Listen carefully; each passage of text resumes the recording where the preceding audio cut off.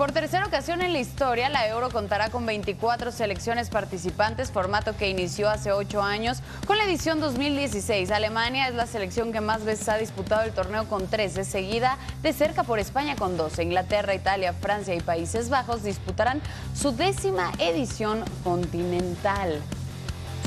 La Eurocopa se vivirá a lo largo y ancho de Alemania, ya que 10 ciudades serán sede del torneo. El partido inaugural será en el Allianz Arena de Múnich, mientras que la final se disputará en el Estadio Olímpico de Berlín.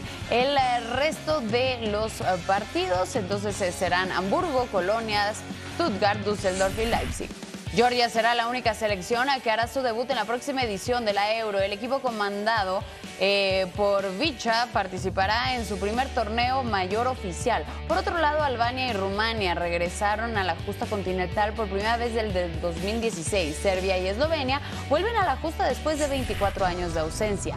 Gales es la única selección europea de las 13 que lograron su boleto a Qatar 2022. Después del retiro de Gareth Bale, los británicos no pudieron conseguir su boleto a la justa europea. Y en total ha habido 10 campeones de la Eurocopa y todos van a estar presentes en esta edición. Alemania y España son los máximos ganadores con tres títulos, mientras que la campeona defensora es Italia, quien cuenta con dos trofeos.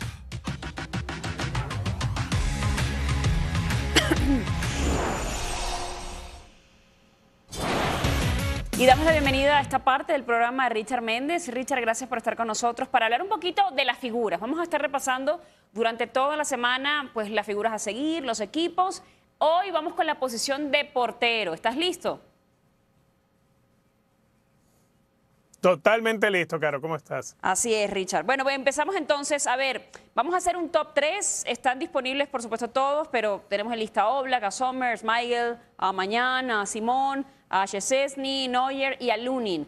¿Quién para ti sería entre los porteros a seguir que pueden destacar en esta próxima Euro el número 3? Primero es importante aclarar una cosita, Caro. A ver, yo soy de los que piensan que los tres mejores arqueros hoy por hoy en Europa no van a estar entre los mejores arqueros de la Euro.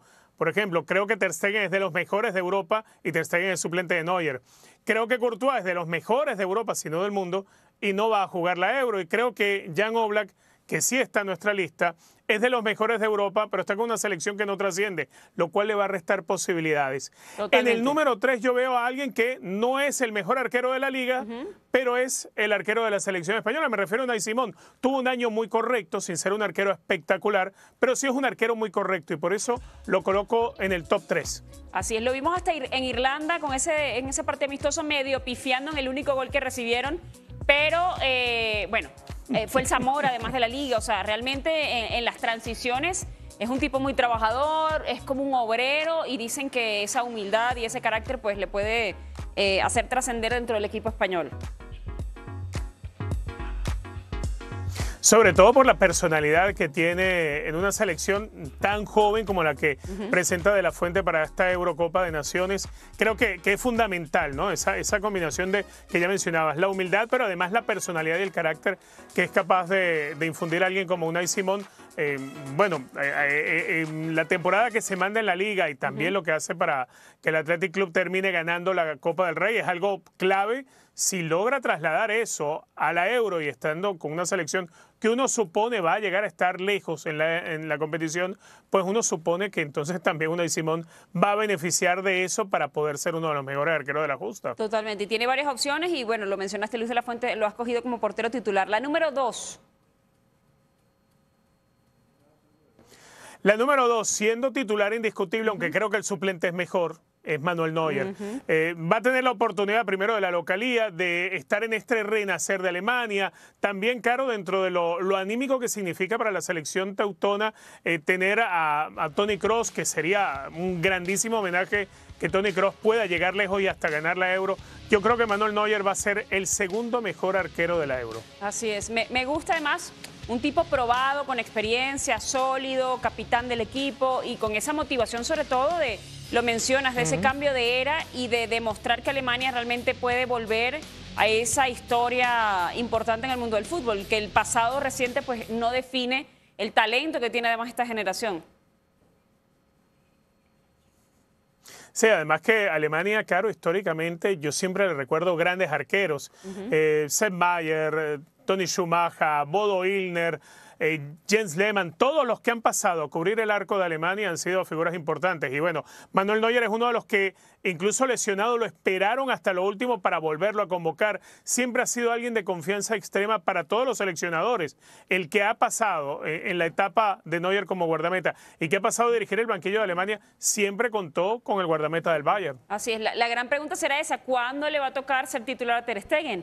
Cuando se retire Neuer o va a haber en algún momento en donde alguien se atreva a hacer la transición natural de, de la portería, ¿no? Es un problema más grande, creo yo, que, que, lo que ha sido la transición en México con Memo uh -huh. Ochoa hacia Malagón. Bueno, en Alemania creo que es un poco más rígido todavía para poder sacar de la ecuación a alguien como Manuel Neuer. Sí, totalmente. ¿Y con quién te quedas en la primera posición? Ya lo demostró la Euro pasada, para mí es esa clase de guardametas que, son espectaculares bajo los tres palos, que en esta clase de torneos cortos suelen crecerse, eh, suele hacer grandes partidos, es, el tipo de guardameta, Caro, que te inspira al resto, que, que hace que el, el, resto de la plantilla que no cree en sacar un resultado positivo en un partido ante un rival inmenso, pues este arquero con sus atajadas les hace creer. Uh -huh. Me refiero a Jan Sommer, el suizo, ya lo hizo en la Euro pasada y creo que otra vez, aunque está en un grupo junto a Alemania, donde tienes la rivalidad quizá de Hungría, creo que Suiza va a avanzar junto a Alemania en la ronda de grupos y después a ver cuánto evoluciona. El problema que tiene en contra Jan Sommer es que Suiza no es una selección que uno la imagine pueda llegar a semifinales, pero si logra hacer por lo menos cinco partidos de esta Euro, uno podrá darse cuenta que, que Jan Sommer va, para mi gusto, ¿no?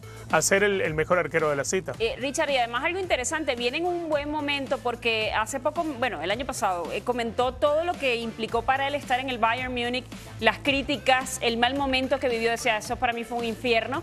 Y cambiarse al Inter, decidir, además con muy poquito tiempo en el equipo bávaro, decir, me voy a ir, eh, tener varias porterías a cero, además con el Inter, salir campeón creo que te da, o sea, en lo anímico me parece que llega de manera inmejorable, Sommer.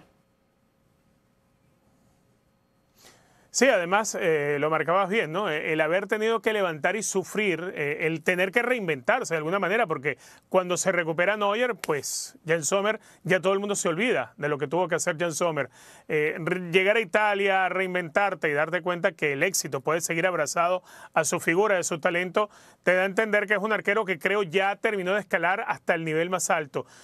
si se mantiene así y obviamente si encuentra caro respaldo de Suiza, de su equipo, de sus compañeros, pues entonces eh, pues va a ser el mejor arquero. Así es. Richard, te mandamos un fuerte abrazo. Gracias por acompañarnos el día de hoy. A Revisamos, pues Inglaterra es el máximo favorito en los momios para ganar la Euro 2024, seguido de cerca por Francia y Alemania. Portugal, España e Italia completan esta lista de los seis máximos favoritos.